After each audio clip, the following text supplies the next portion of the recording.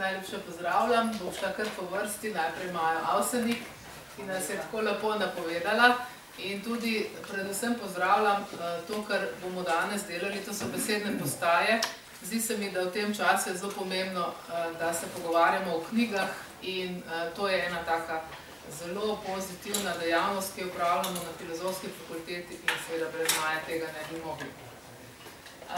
Potem prisrčno pozdravljam našega pisatelja Petra Rezmana, uh, ki ga bomo danes predstavili. Pravim bomo, ker upam, da bomo tudi skupaj kaj, kakšno besedo rekli, uh, skozi njegov roman Tekoči trak, ker pa ste že videli napoved, sem pa napovedala, da bomo tudi njegovo poetiko celotne uh, pripovedi nekako obdelali.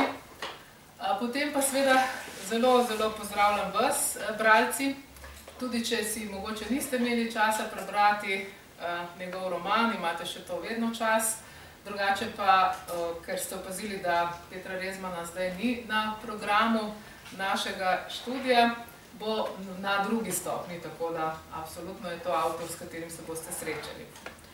Pozdravljam tudi vse ostale, ki jih še nisem nikoli videla ali pa ki še niso bili na besednih postajah. In jaz mislim, da mi kot bralna skupnost lahko še marsikaj naredimo za slovensko književnost. Pa bi začela kar na začetku in sicer naslov romana, če pogledava recimo prvi dve knjigi oziroma prejšnji knjigi, ena ima naslov Skok iz kože, potem recimo prejšnji roman, kot smo ga že omenili, ima naslov Zaton jame. No, tale ima pa malo manj simboličen naslov, Tekoči trak, pa vendarle ima najbrž tudi kakšne druge konotacije. Bi lahko najprej nekaj o naslovih. Ja, uh, najprej sem skupaj pozdrav no in če bom imel kaj treme, ne bi zameriti, ko ne vem, če sem že kdaj uh, pretakalo množice študentov nastopov. Uh, seveda so naslovi mojih knjig nek način vezani ali simbolno ali pa e, na samo osebino in zdaj mogoče samo tako za informacijo omenim, da je tisti naslov zbirke kratkih zgodb Skovki iz kože, s katera sem pravzaprav nekak e, bil prepoznan kot berljiv avtor v slovenskem literarnem prostoru, je v bistvu parafraza tega inauguracijskega skoka čez kožo, to se pravi, rudar postaneš takrat, ko skočiš čez kožo. To pride iz neke tradicije, da bi naj nekoč, ko ni bilo teh rudničkih naprav, da bi naj pač dva rudarja čez, čez lukne, v katero so se spuščali pod zemljo, potegnali uh, tako imenovanje neke usnene predpasnike in tisti, ki se je upal skočiti čez ta predpastnik, se pravi čez jašek, je bil zadost korajžen, da je šel lahko jamo potem premo kopati. Od tod pride ta, ta, ta, ta eh, skok čez kožo. No, jaz sem to seveda obrnil in se neko skok iz kože in je v bistvu šlo z tiste knjige na pravzaprav. Nihče ne more skočiti svoje kože in nekako tako grejo tudi tiste zgodbe. Nekaj podobnega je potem z naslovom romana Zahod jame. Jaz sem potem seveda zajahal konja, ki je dober dirko in sem rekel, bom pa pisal o teh velenskih knapih, kar sem na nek način sam doživel, preživel. To mi je znano, ni mi treba študirati lahko. Kot srednje šolec v bistvu pišem romane. Uh, ker imam za dost teh izkušenj zanimivih, no in sem potem uh, bil kar malo po tej, po tej knjigi Skoke z kože povabljen k pisanju romana in se sem že takrat v osnovi ene tri teme ponujali, ki sem jih jaz želel nekako nekak obdelati in moram reči, da sem jih zdaj s temi knjigami, ki jih je gospod tu prej omenila na začetku, to neko svojo željo izpolnil in sicer ena tema je bila o koncu rudnika, kaj se bo zgodilo, kako pride do konca odkopavanja, nekaj, kar je v Velenu zelo heretično zagovoriti. Druga tema, ki, ampak govorim o, kako bi rekel, o ozadju. Ne? Uh, druga tema, ki sem jo hotel ponuditi za kolesarijo romana, je bila ta, so bili ti nekakšni delovski upori po štrajki tam v Šališki dolini, to je se potem pojavil v, v tekočem traku. No in tretja tema, ki me kar rajcala fest, je bila pa oziroma znemirjena. No? Vse smo zastopili. uh, je, je bila posoda teh tako imenovanih razsiljenih oseb po Šališki dolini, ker tam je kar precej, da ne rečem, cel ta ravninski del, kjer je bilo še pred 50 leti ena cela vas, pa še ne polovice treh drugih. In te bajte so se vse potopile in je zdaj tam jezero. No in e, usoda teh ljudi je tudi po svoje zanimiva in smo, to, je pa, to boste pač obrali, nekako se srečali v romanu Barbara in Krištof. Zakaj naslov tekoči trak, to se mi pa zdi, eh, če se lahko malo šlepam, je zelo fajn napisal Goran Potočnik na Lut literatura v Tomoški univerzi zapisal te knjigi. In on je v bistvu potegnil ven nekaj, kar niti jaz nisem spomnil, to je ta mobiusov trak, eh, se pravi tekoči trak, ne, ki se enkrat zavrne, neskončni trak in potem izgleda skoraj kot čarovnija, ker se stvari obračajo in se nadomeščajo. Leva pride na desno, desno na levo, zgornje na spodnje. Skratka, uh, pri, pride do obrata, ne če boste gledali tole, vi vidite zdaj rdečo piko, no pa jaz nič načaram naprej, pa boste zdaj videli modro piko, če se ne motim. Ali pa obratno, no v glavnem. Skratka, to lahko probite ali pa pogooglate za tem Möbiusovim trakom. E, gre za to, da se pač neke stvari obračajo in vračajo tako letni časi tudi v življenju. Nam se seveda zdi, da je življenje od začetka do konca pa pravzaprav najbrž mimo. Ja. Če lahko tu ustavim, če ne bom kaj reči. Ja, ne, sej, eh, mi smo prišli pa več poslušati. Mene že eh, cela leta poslušajo. Uh, no, in zdaj so se sigurno, ker smo zvedeli že nekaj o naslovih, uh, se vam je vzbudila radovednost, kaj pa je uh, današnji gost uh, že vse napisal. Imamo srečo, da sedi pred nami pesnik, pisatelj in dramatik in jaz bom zdaj le malo naštela, da boste videli, kaj vse je že naredil.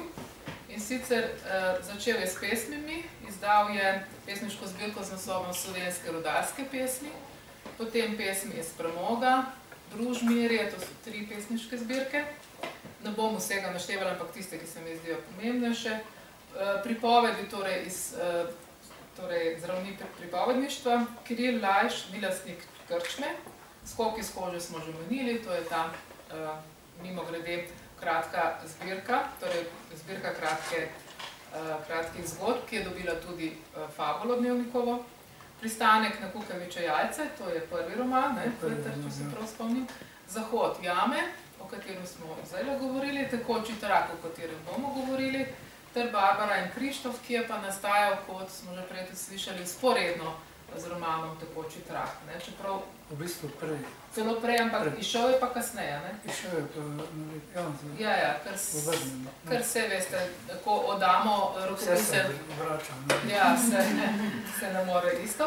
Uh, tudi drame eh, piše in sicer uh, beseda te gleda, pa Ljubljana, gospa sveta.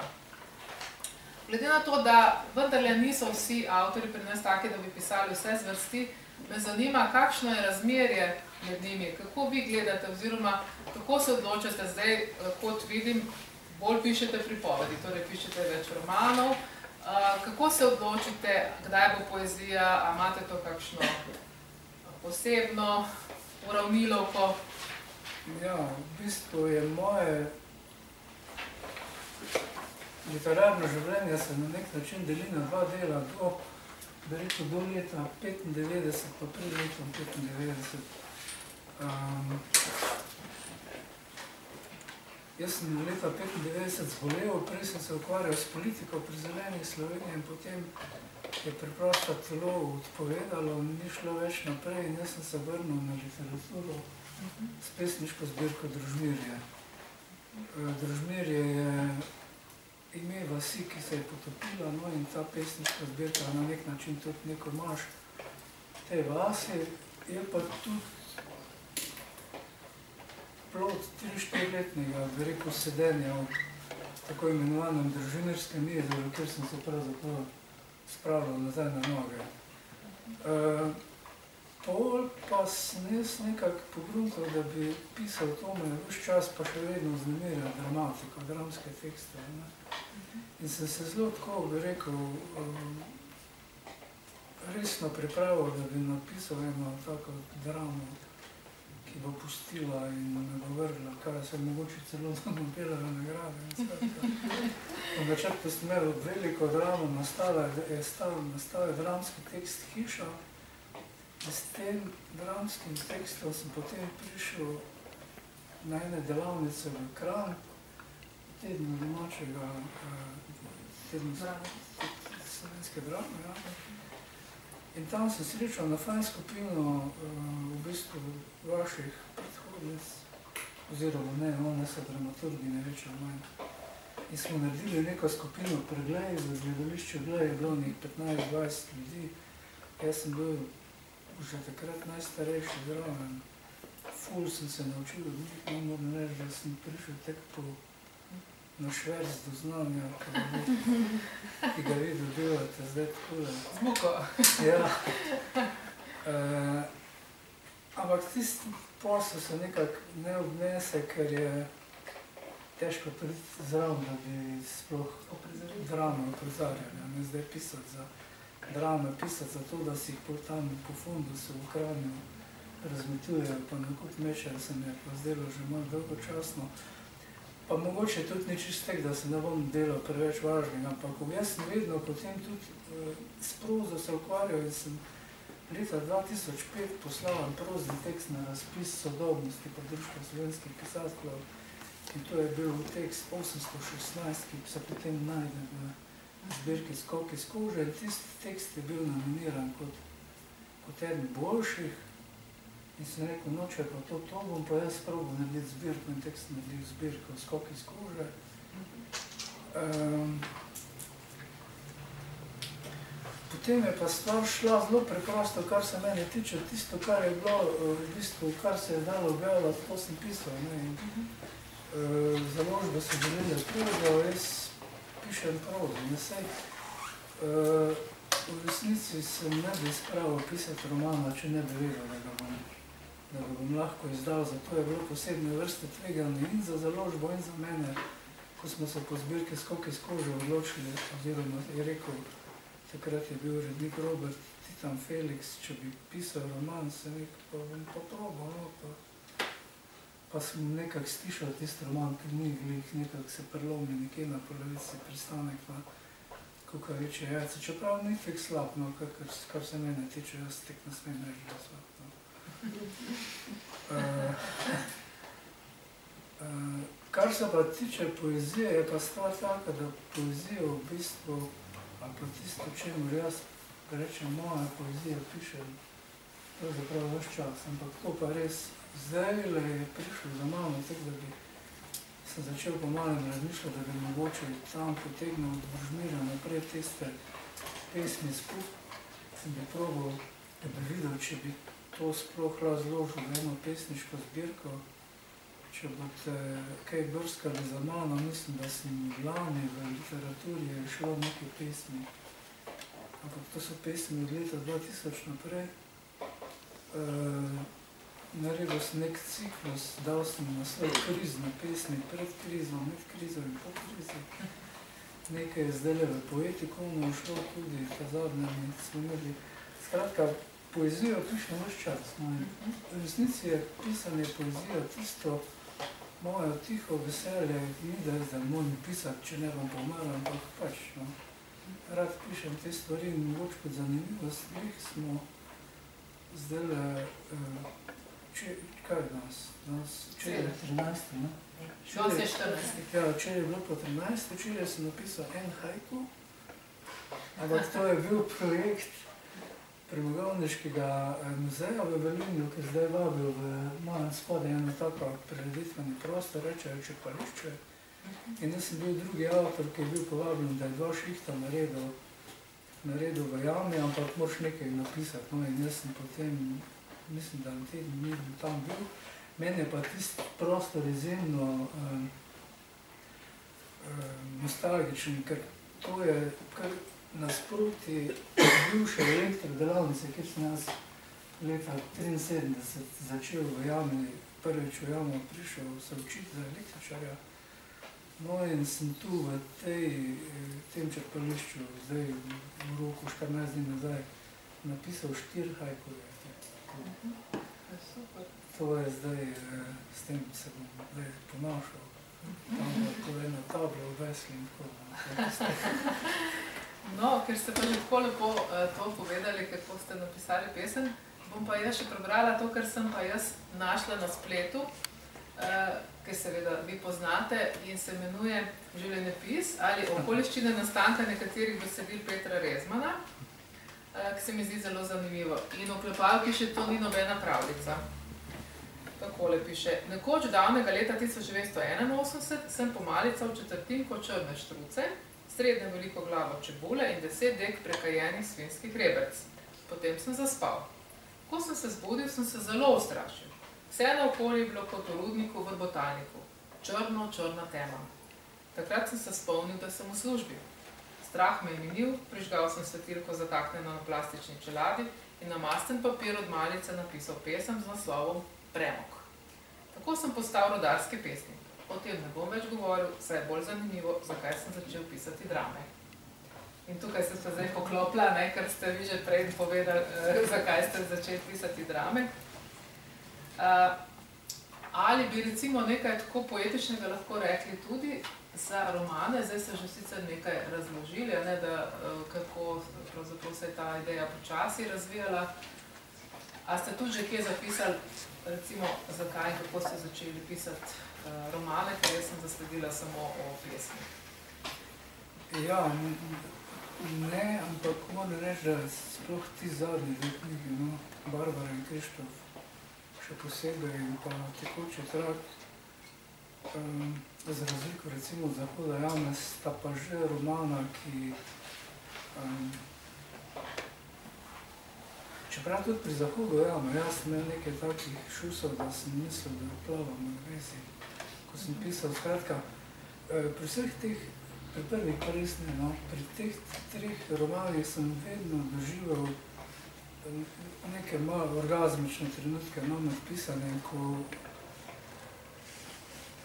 nekaj časa pravzaprav niti pripisane poezije nisem doživel. Ne. Poezija je navadno tako, da tisto pesem napišeš, pa se vdahneš. Pri teh romanih je pa očitno proces tak, da seveda moraš biti en pol leta, tako se jaz delam, no, zelo skoncentriran na to zadevo in potem si v bistvu se jaz sem tako več ali manj sleeping glup za vse drugo, kar se dogaja in živim s tisto zgodbo in s tistim normalnom in tu se potem dogajajo neke, bi rekel, zanimivi procesi čist med, med ustvarjanjem, da mi je samo pisanje pravzaprav um, v užitek, no, res.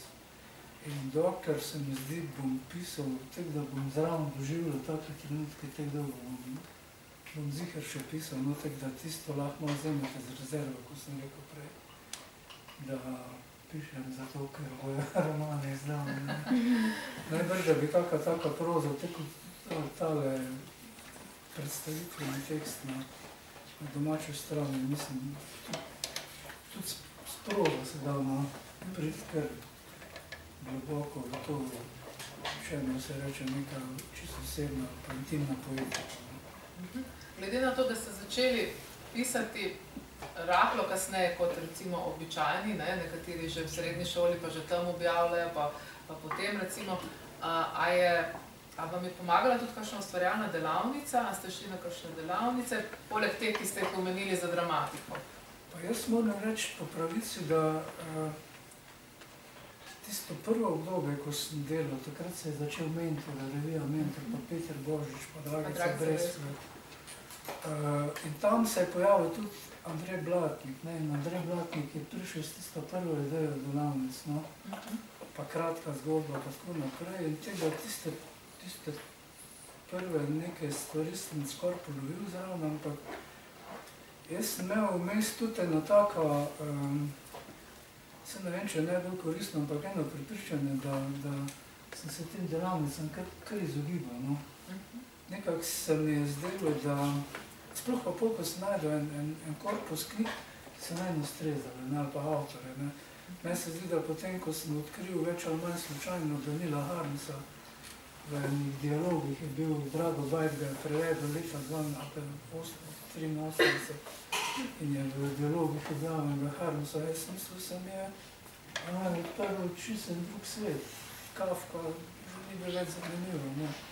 Tudi ko so videli integrali, to, kar me tisto čas mikalo, to nekako ni.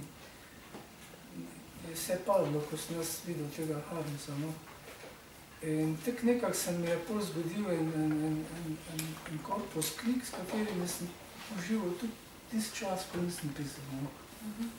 In pravzaprav ti dramski teksti, ti kratki dramoleti, to, kar boste našli, recimo v knjigi Beseda Tehleda, je več ali manj pod vtisem še vedno tega Harmsa, ki je bil kot tudi izdan v, knjižni obliki v sloveščini preveden, mislim, da pod naslovom Zakon Linča. No. Jaz sem pa že prej čital v hrvaščini Nule in Nišpice. Uh, in je bila to ta, ta naravodistična ruska proza, me, me je čisto začarala. No. In koliko se to nekaj zgleda skupaj, z tem, kar smo mi imeli, ne, kot nek, ne, neko sveto pismo od Prežiga, pa Miška Kranca, pa seveda za moje pojme, to trojica brez kosmača, Cirila ne bi šlo, ne, in ko se to nekako zmiksa, je pol mene začela proza, kot to zelo, zelo znamiriti. No. Koliko sem začel pisati, vsega ne vem, kako, kaj ste naredili? Čisto vse smo v redu prišli. Jaz tudi ne vem več kaj, ampak sem zdi, da, da, da sem dobila odgovor. Uh, je pa res, no, ker ste Harmsa omenili, da so kar nekateri kritiki o- označili vašo prozo oziroma vaše kratke zgodbe kot Harmsovke. Ja, ne? ja, ja. Uh, zato mogoče, če bo kdo gledal, ne, pa najprej, najbrž ne bi vedel, sploh zakaj to je, ker tudi z malo piše, jasno. ja. Uh, in uh, mislim, da je prav Harms malo manj znana, ne, razen za tiste, mogoče, ki študirate ruščino. In se mi zdi zelo dobro, da ste to tudi poudarili, oziroma da so odkrili, ne, da, da je to Ja, na zdaj vas sem nisem se spomnil, kaj ste me vprašali. A ja, Pa delavnica, ne? ja Ampak v točno. resnici- Ho- ho- Hotel sem reči to, da je fajn, ne, da avtor nekako najde, bi rekel, tiste reference, ki mu ustrezajo. ne. Na delavnicah pa ni nujno, da se to zgodi. Ne. Se ne rečem, da se ne, ampak ni, ni pa nujno. No.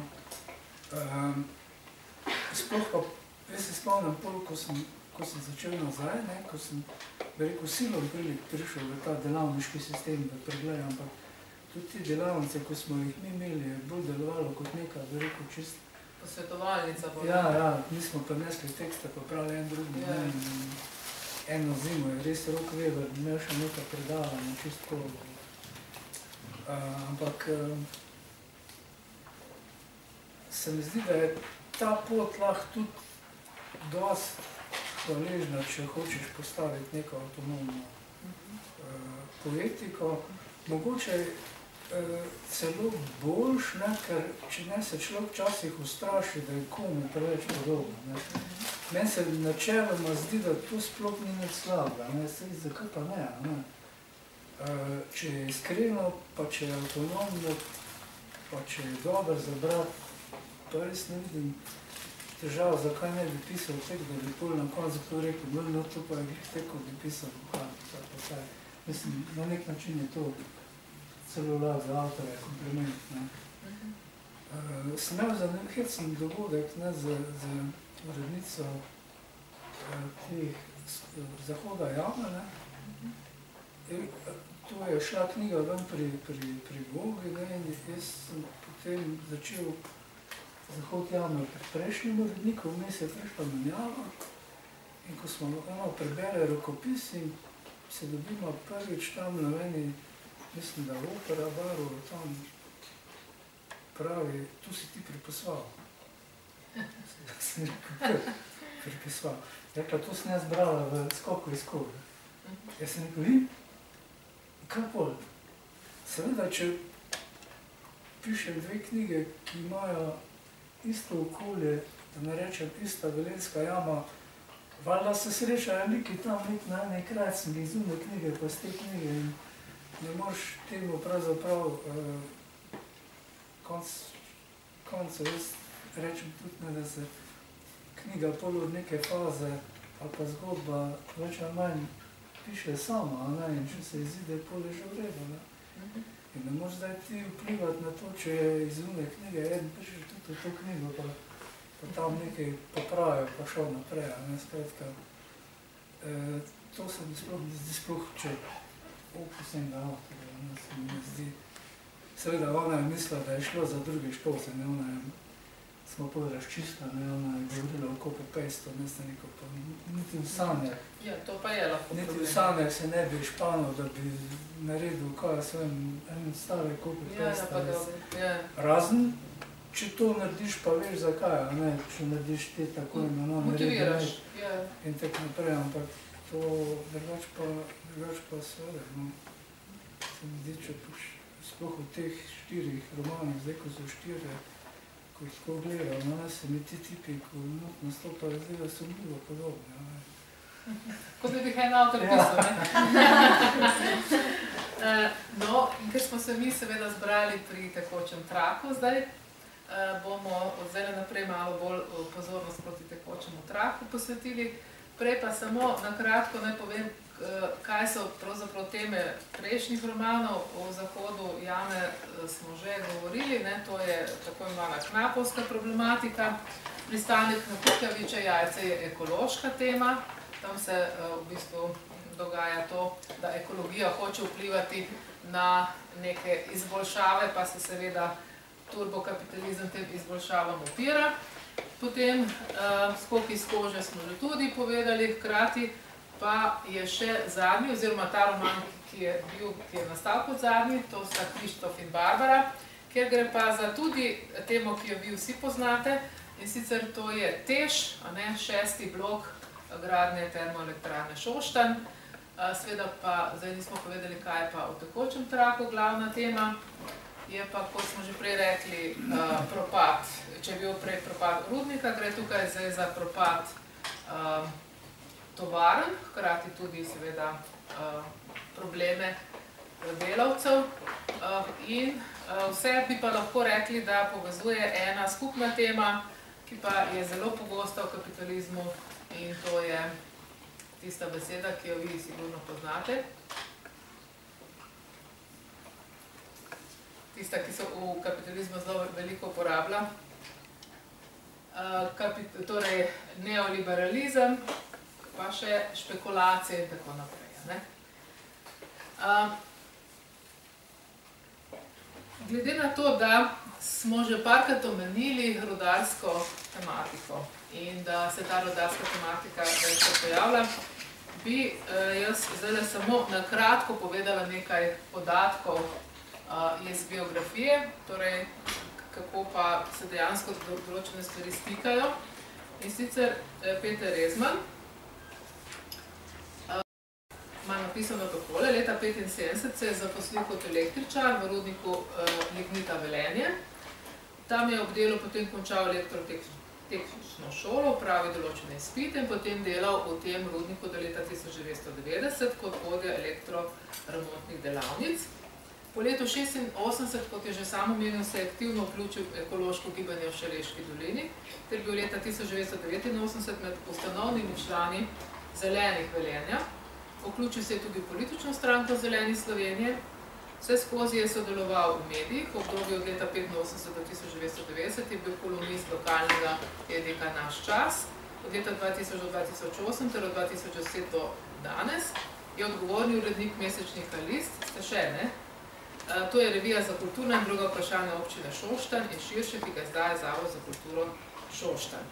S tem smo pa že nekako nakazali na autobiografičnost oziroma delož autobiografije, na to vas tudi kritiki stalno opominjajo oziroma pišejo o tem, da pravzaprav pišete o tem, kar se vam je zgodilo, kar pa za tale roman, o katerem se danes pogovarjamo, ne bi mogli reči, ne? ker ta roman ni postavljen v jamo, se pravi, ni postavljen v rudnik, gre za uh, tovarno, kot smo rekli, kako bi zdaj to povezali, oziroma kako, kaj mislite, kako vaše izkušnje vplivajo na vaše? Ja, jaz sem prej malo namignil, ne, da je v bistvu najlažje pisati o tistem, kar poznaš, pa da živiš. Ne. Um, seveda moraš imeti tudi dober dar opazovanja, da vidiš detajle in sposobnost, da ta detajl potem preneseš v, v tekst in iz tega narediš zgodbo. No, drugače pa, um, jaz se seveda ne upam govoriti o autobiografski razsežnosti teh romanov, čeprav je se vseh pojavljajo stvari, uh, ki grejo tudi iz mojega življenja, ne nazadnje v, v romanu tem pa zadnjim Barbara in Krištof, je pravzaprav dogajanje postavljeno v gasilski dom v Gavarka, kjer sem živel 16 let in, in temu liku, ki je igralni lik romana, sem posodil nekaj svojih spominov in doživeti, da, da pač on to podoživi v, romanu. No. Zdaj, če, če gremo k tekočemu traku, je mogoče prav tudi povedati, da gre v osnovi za ljubezensko zgodbo. Med, med, med, med dvema,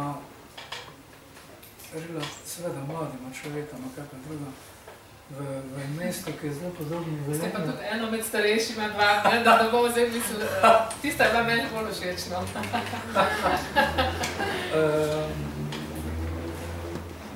ja. Se preučujem, no? Ja, v redu. Ljubezenska zgodba? Uh, no, ampak posebnost te ljubezenske zgodbe je, da gre za, v bistvu, da skozi to ljubezensko zgodbo nekaj obdelam tudi to drugo generacijo ljudi, ki so se preselili v Velenje uh, v 60-ih, konc 50-ih, po 60-ih letih. Jaz moram reči, da sem v resnici na nek način fasciniran z Velenjem, sploh zdaj, ko se nekaj imam priložno, da se malo več potikam po Mariboru in imam to, bi rekel, pogled nekako v staro mesto, kar Maribor definitivno je in, in potem to nekako primerjam z Velenjem, ki je pa v resnici mesto, ko je bilo zgrajeno iz nič v času tega socializma, se pravi, ti velenski knapi oziroma, jaz bom kar zamenil, rekel, tovariš mest Lžgan, ki je dobo nalogo, da more velenski ljudmi laufati in tip je bil izjemno podjetni in v bistvu zorganiziral in je nastal v Velenje. Ne. Leta 63, ko je prišel Hruščov na obisk v Velenje, Hruščov je bil en znanih ruskih predsednikov oziroma Sovjetske zveze takratne, ne, je obstaja anekdota, da je rekel, ogleval sem si vaše šahtire in kvartire, net harašo. Njemu ni bilo všeč kako je ta mestni žgan zastavo, uh, bi rekel, skorpula, kaj je, Le Corbusier, potem principu, ja. ja, je, je zastavo to velenje kot mesto v soncu, presvetljeno, češ knapi so 8 ur v, v jami, v temi najbolj naslednji 8 ur na soncu in te, to je v bistvu filozofija velenja. Ne. Uh, seveda, to mesto, ki so si ga ljudje sami zgradili, tisti knapi pošihtov, na vide z udarniškom so ga mogli graditi. In to mesto v resnici nima neke tradicije, ne? Meščanske. To gre v bistvu za fizične delavce, ki so jih nametali noter v relativno visok standard in nihče po moje niti ni znal preveč ceni tega, če gledamo da s temi očmi, kljub temu, da so to sami naredili in so bolj cenili to, da so to da je to produkt njihovih rok, njihovega dela, kot pa, kot pa da je v resnici v primerjavi s kakimi drugimi kraji, po takratni Jugoslaviji, bilo velenje v resnici moderno mesto. No. In jaz sem v resnici bil tudi nekak mi je ta fascinacija iz otrok. Takrat so ljudje prodajali bajte na, na vasi, da so šli uh, živeti kot, kot najemnik v, v bloke v Le. Ne. Uh, in smo bili seveda vsi nekako navdušeni nad tem velenjem in, in, in to potem ostaja v človeku, to pa se enkrat zgodi ta obrat, da se vprašaš pravzaprav, kaj se je, kaj se je pa v resnici dogajalo. Nekaj tega se potem vidi tudi iz tega romana Tekoči trak. Predvsem se mi je zdelo zanimivo to, ne, da je to cela generacija ljudi, ki je bila naseljenih v Velenje. Veliko je bilo to iz enega dela Bosne, ker je sistem laufal tako, da so preprosto šli ko skauti v Bosno, potem mlade pobe in so jih navozili gor. E, takrat, tiste prve čase je Velenje zgledalo tako, da še ni bilo te koncentracije v nekih samskih domovah, ampak so bili že v teh stopnicah, so imeli dosti velika stanovanja, da so noter z njimi živeli tako imenovani kurši, ne? to se pravi samci, ena družina ali pa dva, tri ljudje so, so vsi imeli pod najemu še enega teh rodarjev, no in to je, so bile tudi druge zgodbe, ne, kak so se, eni so šli na šiht, eni so se pa samo posli zamenjali. Ja, po zahodu, ja. Ja, ja. No, skratka, to so ene take zanimivosti in jaz hočem potem v tem romanu tekoči trak govoriti o, o drugi generaciji, se pravi, o prvi generaciji, ki pa sebe že lahko imenuje, rojeni, rojeni, bom rekel, kar velenčani. No. In seveda postavim, eh, punca je Dida, je, je ščerka Bosanca in Bosanke, ki, ki živita in delata v Velenju. Eh, sin je pa v bistvu tako malo skomplicirana oseba, matere samo Nilke in ta dva se v bistvu z, tu v romanu prideta in greta na razni in to je pravzaprav, eh, bi rekel, tisto, kar žene to zgodbo naprej. V zgodbi se pa seveda predstavi realnost taka, kot je ne, z, z, s problemi že propadajoče te velike gradbene firme Vegrat v Velenju, ne, s problemi, um, bi rekel, nekako mi je tisto, kar mi je izstopilo v tem romanu ven, mi je bilo vredno to, da skušam opaziti in opisati, kako pa za razliko od prejšnjih tako imenovanih socialističnih časov ni nikogar več, ki bi skrbel za delavce, tako imenovane. No? In, in tu se potem pojavi kot, kot bad guy romana sindikat, kot inštitucija, ne? ki ne upravlja svoje, svoje poslanstvo, niti slučajno v takih okoljih, kot je, kot je tisto delovsko tam in noter so eni prizori, upora, dela v Gorenju. Moram pa reči, da so to resnične, resnične zadeve, ker je veliko tega bilo potegeno in to boste našli, če boste šli na brskati za tem Goranovim, za potočnikovim tekstom na Lut literatura, on je tudi poiskal na YouTube tiste, tiste prizore, ki sem jih jaz pravzaprav tudi gledal, ko sem pisal ta roman. Ne. In, um, ali pa za ilustracijo, kaj je tisti podton, mogoče to, da če, če ste pred kratkim gledali in oddajo Tarča, v kateri je nastopila ena gospa, ki je delala v Gorenju za tekočim trakom in je bila leta 2012 nesvojena voditeljica tako imenovanega upora teh gorenskih delavk. Ne? Takrat je še Anžin vodo odajal na, na TV Slovenija, to tarčo in je potem to ženska vprašal, je rekel, kak pa kaj sindikalno gibanje v Gorenju, kak pa sindikat funkcionira? In je ženska, kaj sem naredila, rekla, kak sindikat, mi smo se mogli sami boriti. Skratka, tu je ta konflikt, da, da bi rekel, ti najnižji sloje teh ljudi, bi rekel, brez katerih teh fabrik pravzaprav sploh ne bi šle, pa le govorili, da bote, kar hoče, ampak skratka, ta, to je popolnoma nezaščiten, nezaščiten del te družbe, se mi zdi tukaj v Velenju, kjer moja seveda posodna na ustah skrb za ljudi, pa socialno in tako naprej, ampak realnost je pa vedno malo odmaknjena od teh, deklaracij. No in to je noter, bi rekel, ta fus nota te ljubezenske zgodbe. Ne. Tisto, kar je pa v tem romanu bi rekel, kar mi je bilo pa meni znano, zelo, na nek zelo osebni način in, in, in, in s čimer sem se pravzaprav soočal na, na zelo podoben način kot pri zgodbi Bili Vlaček v, v, v, v skoku iz kože. Tam namreč govorimo o pedofiliji, oče, hčerka, jaz imam pa dve hčerki. Ne. Tukaj sem pa stvari postavil tako, da, se, da sem rekel, res ne hote trčil v čisto družinske razmere, ne, ker je moja hčerka uh, starejša uh, poročena z, z fantom, ki ga je spoznala v Šoštanu, ampak fant je prišel sedmimi leti iz, iz Bosne, so prišla cela družina in zdaj, ko so se te stvari po vojni v Bosni toliko prekuhavale in spreminjale in zaostrile, tudi po verski liniji je ta družina od moja hčerka v bistvu sprejela in prakticirala muslimansko oziroma islamsko vero. Skratka, ta del ki se pojavi v, v knjigi, mi je zelo znan in je bilo na nek način olajšanje, ko sem o tem pisal. Ne. Po drugi strani je pa seveda ta neka veliko čist intimna zadriga, ki jo moram jaz sam sabo rešiti kot, kot avto, kot pisatelj. Ne. Uh, kar ni vedno fajn, no. moram reči, da ni, ampak hvala Bogu so veliko ljudi okrog mene pač potrpijo z mano, no, ali pa tudi ne. No se več zbirati, tako ne morejo. Skratka, ta, ta del življenja, mi, ki je tudi zelo radikalno izpostavljen v te knjige, se pravi to, jaz niti, niti sanjalo se mi ni, da bi potem prišlo. A smo kje pozabili?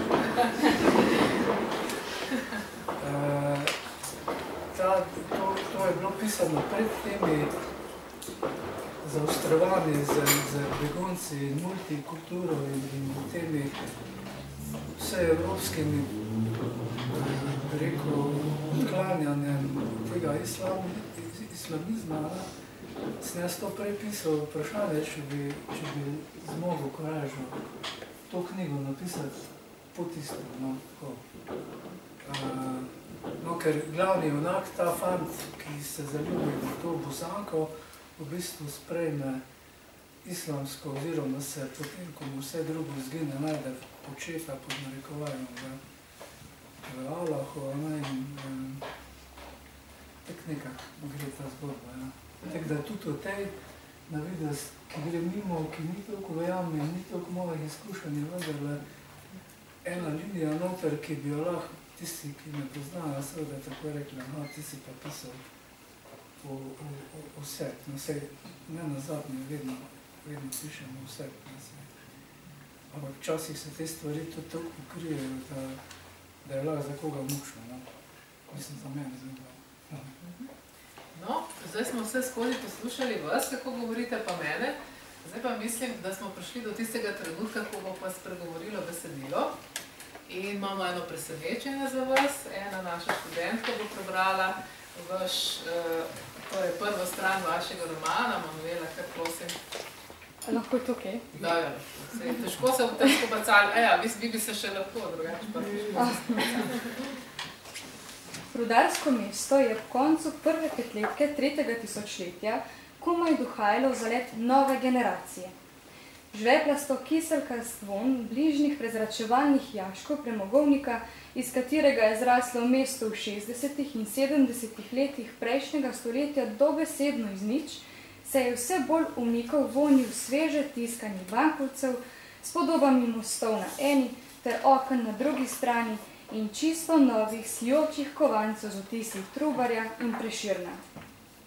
V najsvetlejše mestne pisarne so se selili mladi in uspešni ljudje, ki jih je, bolj kot tekoči trakovi zdrobljenega lignita in proizvodni tekoči trakovi za izdelavo gospodinskih strojev, vabil tok denarja.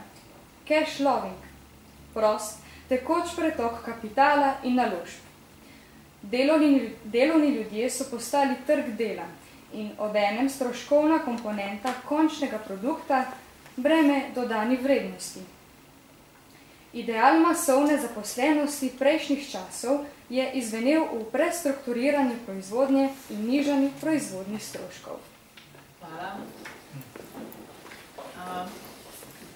Oče, glede na to, da sem vam razdelila odlomke, a kdo še nima, to še dam, a, bi, bi kdo kaj povedal o tem besedilu, je dobil kdo kakšno idejo,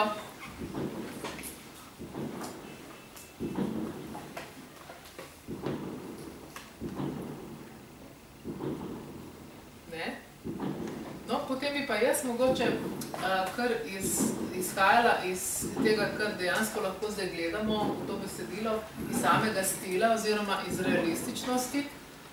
Uh, pred seboj imate enega izmed tako imenovanih postrealizmov v Sloveniji, uh, ker uh, zelo težko bomo zdaj rekli, da gre za neko smer realizma, ker smer realizma je zgodovinsko določitev, zgodovinska določitev, ampak uh, če gledamo pa trans zgodovinsko, gre pa tukaj za um, realizem kot tehniko, realizem kot način pisanja in um, zanimivo je, da se pravzaprav v njegovem besedilu, ki ga zdaj tule vidite, vsi trije načini um, kažejo realističnosti, za katere tudi teoretiki trdijo, da je realističnost uh, na ta način izražena in sicer za karakterizacijo, ki mora biti realistična, tudi govor, če boste brali naprej, bodo recimo knapi govorijo po knapovsko, ne rudari po rudarsko, bosanci govorijo tako, kot je za njih značilno, vse ne vse replike, ampak večinoma replik, potem natančni opisi, to je tudi, kot veste, značilno ne, za realizem, zelo podrobni natančni opisi, um, ter hkrati tudi nek, nek, neka tipizacija določene situacije. Zdaj, tole smo videli, da je pravzaprav zelo dobro opisano, že v bistvu zelo dobra napoved, kaj bomo brali. Ne? Uh, torej, brali bomo nekaj, kar se bo dogajalo v rudarskem mestu, ampak v mestu, ki ni več zdaj uh, mesto, kot je bilo, ampak mesto, ki se ukvarja zdaj z nečim drugim, torej cash flowing, ne? se pravi pretok denarja, uh, kapital, kapital je enako denar, ne? torej že če v realistični tehniki dovolj dobro preberemo začetek, tako in tako že napovedujemo cel roman. Uh, in si že lahko predstavljamo, kaj, kaj se bo dogajalo v romanu. Uh, pa no, še eno, še eno seveda obvestilo, ki ga prej nisem povedala, kadarkoli imate kakršnokoli vprašanje, postavite to, to, da bi zdaj čakali, pa trpeli do konca, ne, da boste postavili vprašanje, ni treba. Torej, karkoli se vam posveti, zasveti, lahko kar vmes vprašate. Uh, vas bi pa vprašala, poleg Harmsa, a je mogoče tudi kaj, uh, recimo, francoski realizem, Zola, Žerminal vplivu na vas, ker tudi večkrat potegnejo uh, sporednice z Žerminalom? Če sem čist iskren, sploh ne vem, smo zadnjo ta Žerminal čital, ampak tu je moj odnos podoben bil. Ne? Potem, ko sem, ko mi, bolj ko mi bo nekdo ponujal nekaj, da naj grem preveriti, prebrati pa kot zgled, ne? Uh. -huh. se mi zdi, da moram tisto malo počakati z neko zastanco. No? Uh -huh. um, ne, jaz te, te, tega francoskega, pa sploh te, no, na vsak način, seveda sem, sem bil uh, to, kar sem prej omenil, ne, te, ta veliki klasični slovenski prozni trio, brez cantorja, ne, mhm. se pravi, Prežih, eh, Kramec, pa Kosmačne, to je na nek način tisto, se mi zdi, kar je bilo meni bliže, ko, ko kar tudi drugega, tisti prozni, takrat, ne, iz te slovenske, iz tega slovenskega kanala, ja. Um, Kar se pa tiče pol teh harusov, pa teh veliko nekih modernističnih upadov, se mi pa zdi, da je nekaj, nekaj čist drugega, kar, kar ti lahko koristi zelo, ko to pišeš, ne, ampak nekaj, kar se ne moš zgledovati po tistem, ne, tu je treba, le. Čeprav moram reči, da ravno v tekočem travku se mi zdi, da mi je uspel, um, uh, nisem, nisem vedel, kak naj speljem tisti tisti zadnji prizor, ko ubijejo v bistvu, oziroma ko se stepejo tam, oziroma ko, ko, ko dobi ta, ta eh, en, ki je enak glavne zgodbe, ki ga pač trije skinheadi v bistvu v Ljubljani na železniški postaji spravijo v življenje. Um, in ne vem, odkud mi je padel potem roman Moskva Petuški, tisti zadnji prizor, ko, ko v, Moskva Petuški sem v bistvu tisti prizor na nek način eh, potegnil noter v, v ta roman in, in tek, da ima tudi te, bi rekel, spet te ruske kornine, no, literarne, se najde v tekočem traku. In je tisto mi je zelo dobro, se mi zdi, ko sem jaz to prebral, sem rekel, ne, to pa štima. Ali pišete kdaj z mislijo na bralca, v, v bistvu, aha, to bo pa recimo tej ciljni skupini namenjeno, nekaj nekateri avtori celo recijo, recimo pišejo drugače, ne, Lanšček je recimo do Petelinjega zajtrka pisal a, čisto drugače, potem po Petelinjem zajtrku, ko je bila uspešnica, so pa njegovi romani tudi recimo zelo prilagojeni širši publiki in so tudi zgubili marsikatero recimo prejšnjo resnost. Ne, Ne. zaenkrat nisem sploh dobro. Pa še pravzaprav edini poskus, ko sem delal, ne, je, je, ampak to je čisto nekaj avt, je, je tale knjigica Žvalinjak, ne otroška, pa še tista je dobila, bi rekel, tako enih par minusov strani kritike, či- čisto pravičene. Kar se pa tiče teh knjig, jaz, mislim, ne, ne mi zameriti, jaz one knjige niti ne jemljem toliko resno kot to, ne se mogoče je to narobe, ne. Uh, ampak sploh ti trije zadnji romani, pa skok iz kože, se mi zdi, da tvorijo nek opus, pa tudi, tudi ta po pravici malo, po krivici malo zapostavljen pristanek na kukaviče jajce, uh, brez vsakih špekulacij, no. Mogoče edini razmislek, ko pridem do kakih takih um, stvari, ne, kot je bilo že omenjeno, tist, tista pedofil, mislim, ko so, ko so ti malo bolj, bi rekel, prizori, ki, ki mene ziritirajo, ko jih pišem, ne. Se pol vprašam, zakaj je to treba, ampak si rečem, pa je že treba, ne, že mora ti biti, ne. Mora biti napisano, če tek čutiš, če se tek pokaže in če to tek gre skozi zgodbo in potem ni zadržka, ne kot zanimivost, ne, tudi mogoče ena izkušnja eh, pri tem zadnjem, ki je šel tudi pri Gogi, smo, smo se tudi z urednico malo pogajala, a, a ja ta konec ali ne. In, in je bil rokopis brez takšnega konca, ki je zdaj v romanu na založbi skoraj pol leta. In če bi v tiste pol leta izdali roman Barbara in Krištof, bi bila ona prejšnja verzija in potem je prišlo novo leto in sem jaz rekel, zdaj bom pa pritisnil na, na založbo, da gre ta knjiga ven, to mora iti ven. In če gledam enkrat rokopis, sem rekel, ne, to ne štima. Ono mora biti zraven noter, tisti ključni prizor mora biti noter, a ne, jaz sem interveniral in poslal nov rokopis. No, še prav pol tako sem malo obseden s temi datumi, datumi, imam tam nekje januarja 15, sem potem poslal bi rekel, prvi rokopis in priklical popravljen rokopis in ga vrnil v prejšnje stanje in zahteval, da gre tak, eh, tak v tisk in je šel v tisk brzo govora. No. Se mi zdi, da, da je v tem pogledu je bila zelo koristna, da ni šel roman eh, prav čas. ven, No, tega. Se tudi take stvari zgodijo. Ja. Ker je pa tako, ne, da sem tekoči trak pisal pa za, za romanom Barbara in Krištof.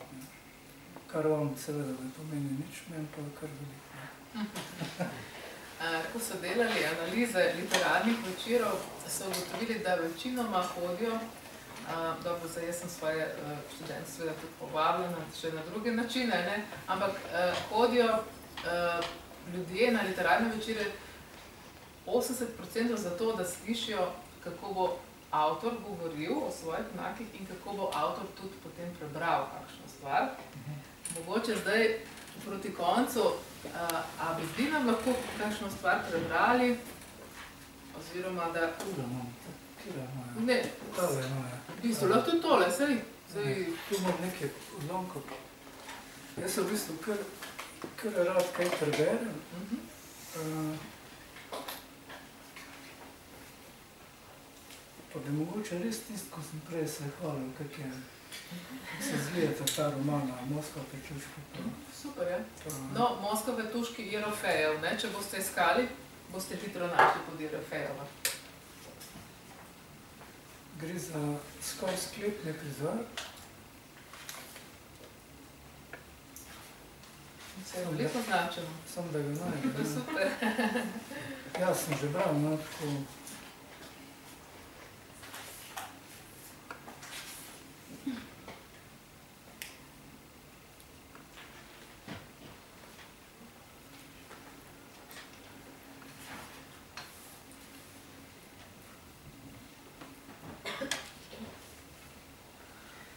Kdaj se je zgodilo, česar ni pričakoval? Pod tlakom med dvema tiroma je prihajala trojica, tako jih je prepoznal. Zadrgetal je in se je zakrčil, oni pa so že bili pri njemu in ga obstopili. V obrazi podobni kot- prej, izraz na rdečeličnem, še naprej nedolžno dobrodušen, ona dva pa drugačna, nestrpna. Kitasti s pajkom je izžareval privoščljivo zlobo, znanec z njegovega mesta zamrljivo užaljenost. Najbrž zato, ker je pač še tu in čeprav so ga prej na njegovo prigovarjanje spustili in mu velili nemudoma oditi na vlak. Kaj jih briga, če ga je zamudil? Vmes je bilo veliko drugih vlakov in bi se lahko odpeljal kamorkoli. Saj so ga spustili zato, da izgine, ne da poseda tukaj in se zopet naslaja ob svoji veroučni knjižnici. Znanec je hitro stegnil desnico in mu izmaknil branje iz rok. Pajek je samo stal in bliskal z očmi, zdaj mu je znanec mahal zelenim zreščičem pod nosom. Kaj je to?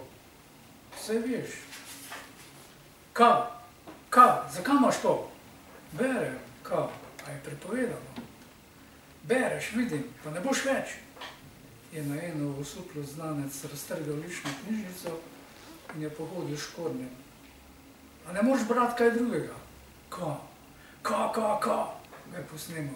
Že ka, kar berejo normalni slovenci, romane.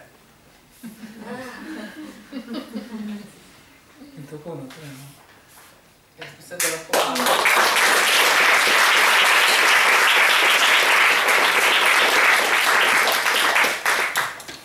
To pa je tudi zdaj eh, tisto, kar nam bo odprlo usta. Ne?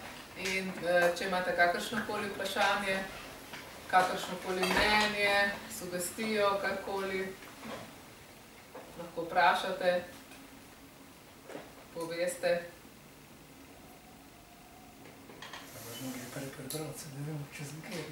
Ja, eh, torej, čez en teden se vidimo. Ja. Uh, mogoče bo pa avtor sam uh, zdaj malo odtajal. Ne? Uh, torej, situacijo pa bi povedali, zakaj ste si ravno ta odlomek izbrali. Uh, ne vem. Ne? Zato, ker sem prej eh, o tem govoril, in se Aha. mi je zdelo. No. Pa sej še ni, ni, ni- nisem najdel čisto prav, ne vem, kako reči. Lahko še nadaljujem, no. Prosim, če bi še enega. Ja. tam nek naprej, ne rabim. Evo, zdaj sem da vidim, kako je to zgleda. No.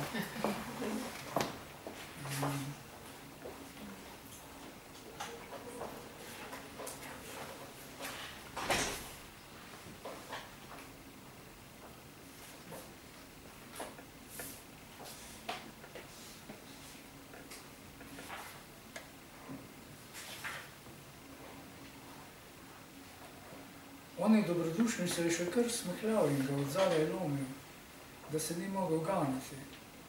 Znaneč je molčil in povišenih rok gledal kitastega, ki ga je mlatil kot boksersko vrečo.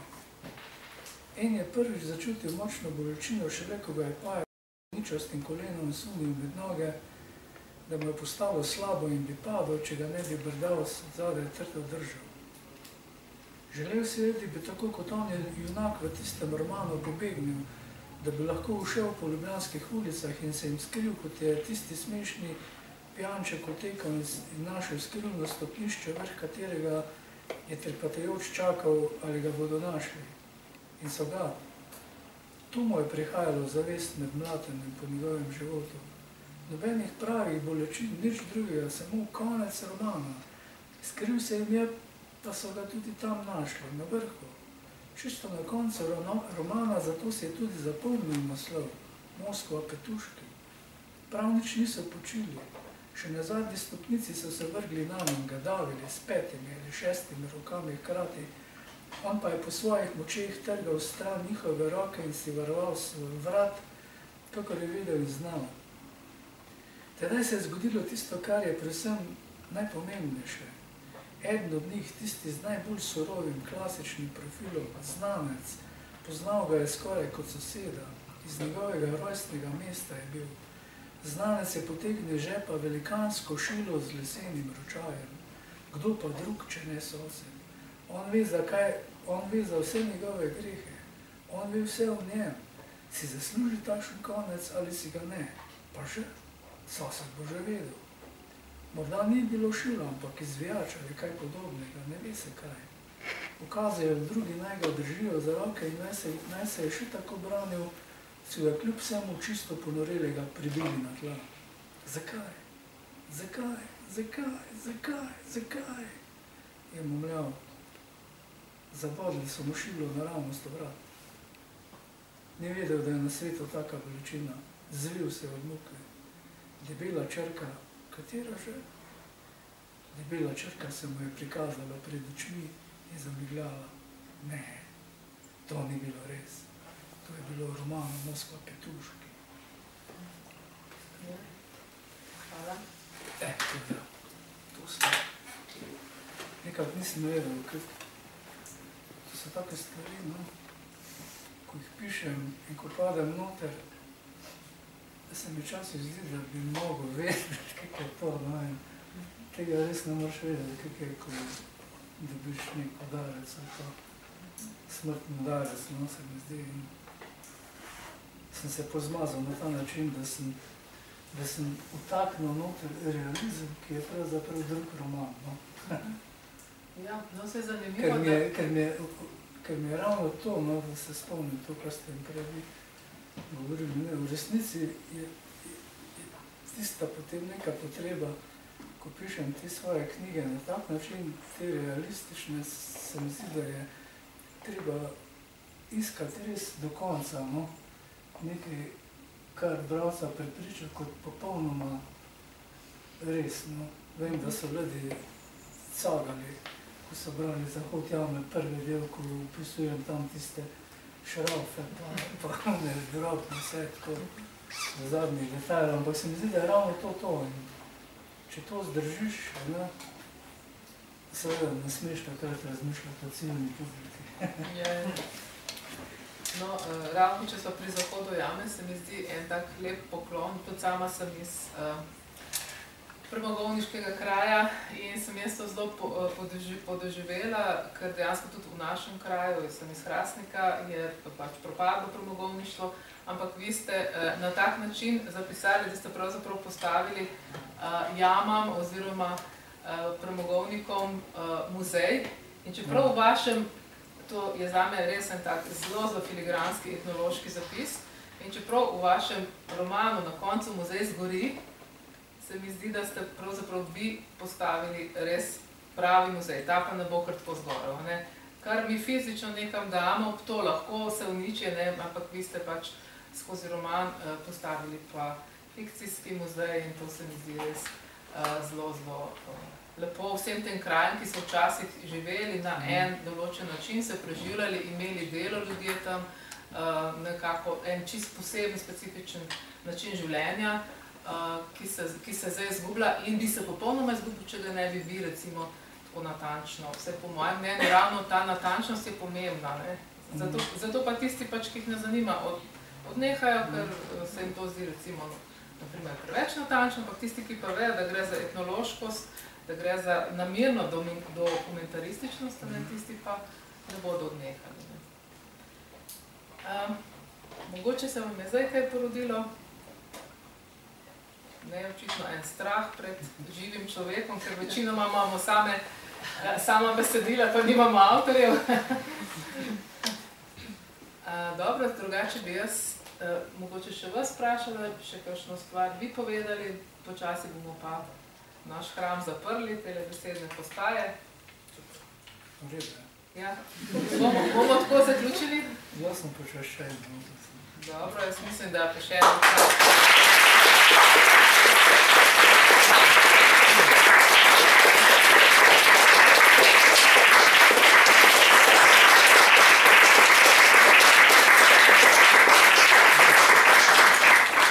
Moram še trikrat nazaj.